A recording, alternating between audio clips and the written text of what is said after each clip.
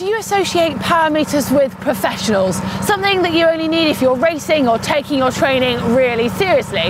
Well, yes, professionals do use power meters, but there's still a lot that all of us can gain from using them no matter what level your cycling is at. Exactly, in which case it's about time we cover the benefits of the power meter and how you can use one to improve your own cycling.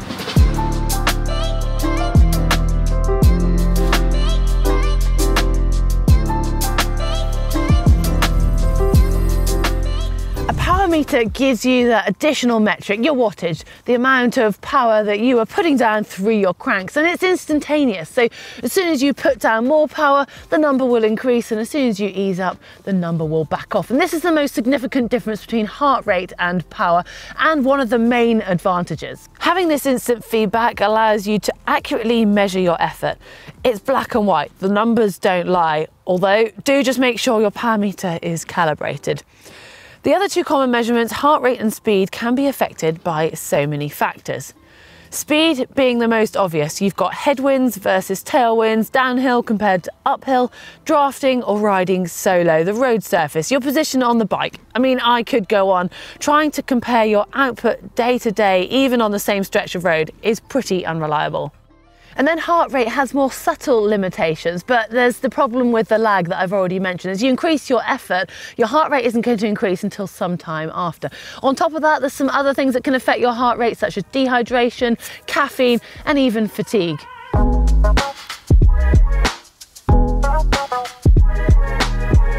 Now the benefits of the power meter actually go far beyond simply this accurate and real-time feedback that they provide. It's also what you do with these numbers that can really make the difference. Now, if you're new to using a power meter, I'd actually suggest you just head out as you normally do on your rides and start to observe the numbers that it starts to produce for you.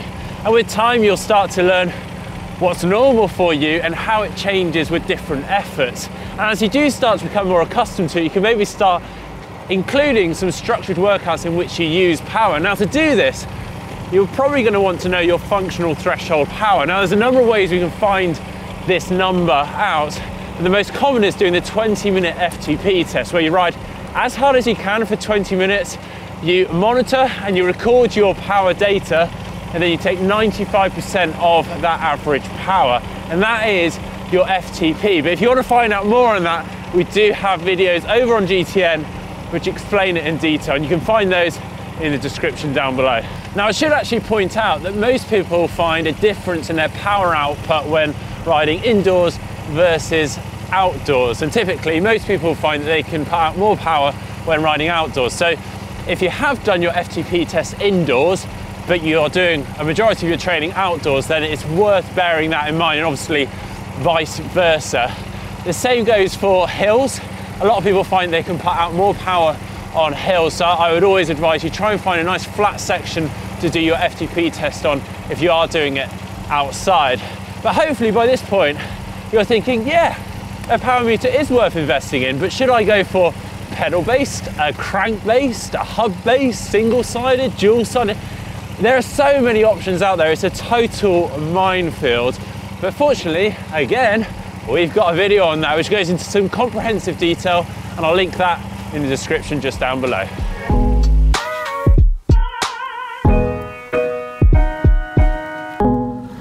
Power is measured in watts. That part is straightforward. And like I said, it's instantaneous. It gives you that feedback straight away.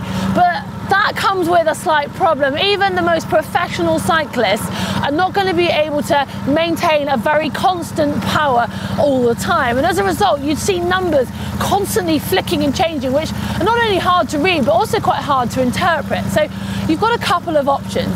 You can use average power, which will obviously give you average power throughout the whole ride. And this can work quite well if you're say doing intervals and you're using the lap function on your bike computer and you ride to that average power. But there's another option because that doesn't work so well if you're say riding on a long ride in a group or you're on uneven terrain. And this is where the three second power window comes in quite handy and most bike computers will give you that option and it basically gives you your average over the three second period so it will change but not so dramatically and it's much easier to sort of pace your effort off. And there's one other version, normalized power. This is a calculation of your power taking into account the conditions.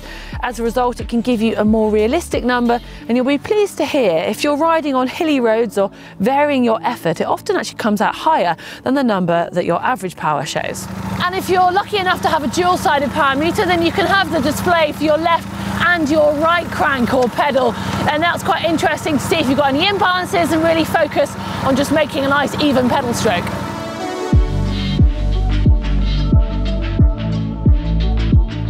Well, that covers the obvious benefits. And with a bit of time consistency using power, you will start to learn how to use this metric to notice and tweak some of the smaller things. For instance, if you are still using heart rate, then you may be able to start to correlate your effort and your power with your heart rate. And that may allow you to notice things like the early onset of fatigue and overtraining, or on a more positive note, improvements in your fitness. Yeah, and then you've also got the option of playing around with aerodynamics. So, say you have got a relatively flat section somewhere without too much wind, well, you can simply ride that set distance at a set speed and measure your power output on it, and then make some changes, whether that's to your position or something to your bike or accessories. Ride it again at the same speed and see if your power's changed. And if your power numbers have dropped off, then that's a pretty good sign that you've improved your aerodynamics. Yeah, I've got to say that is something I have personally really enjoyed with power over the time when I have had time to do that. And also things like your cadence, increasing, reducing your cadence and seeing how